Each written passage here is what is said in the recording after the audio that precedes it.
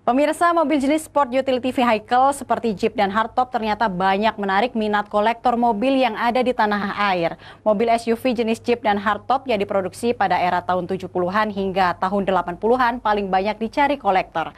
Harganya di kalangan kolektor mobil bahkan bisa menembus angka miliaran rupiah.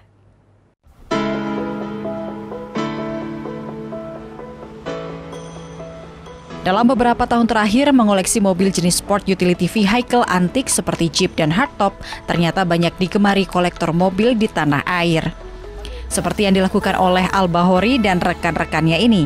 Selain menggemari mobil antik jenis Jeep dan hardtop, Al Bahori, seorang pengusaha ini juga telah mengoleksi sebanyak 13 unit mobil antik jenis Jeep dan hardtop yang diproduksi pada rentang waktu tahun 70-an hingga 80-an. Belasan koleksi mobil antiknya ini disimpan di sebuah galeri yang ada di kawasan Jalan Soekarno-Hatta, Palembang.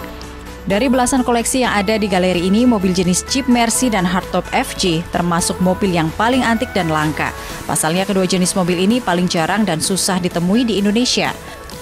Mobil yang tidak banyak mengalami perubahan bentuk serta memiliki mesin yang masih orisinal paling banyak dicari para kolektor.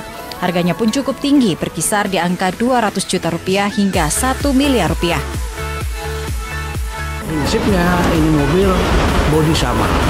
Ya, mesin juga tidak banyak mengalami perubahan. Kalau mesin tahun 1960 sampai 74 itu menyenang mesin F1.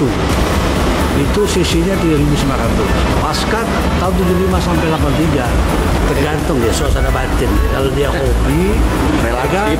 Kalau dia hobi, sama-sama hobi, ya bisa kayak MJ